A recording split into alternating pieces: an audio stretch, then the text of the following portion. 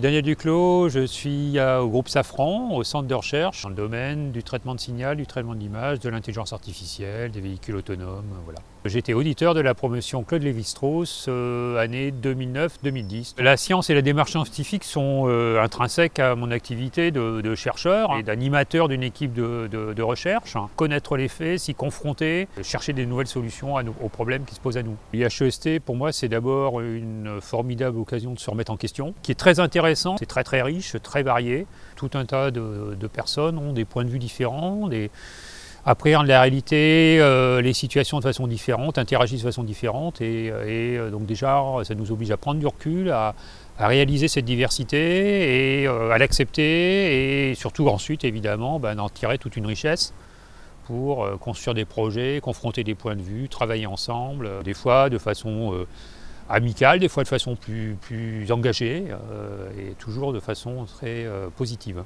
C'est aussi un investissement sur la durée, et aussi le réseau qui se crée avec, euh, l'ensemble des auditeurs, qui, qui, est une richesse qu'on garde toute notre vie. On investit finalement dans cette formation, beaucoup humainement, mais, mais on en tire énormément.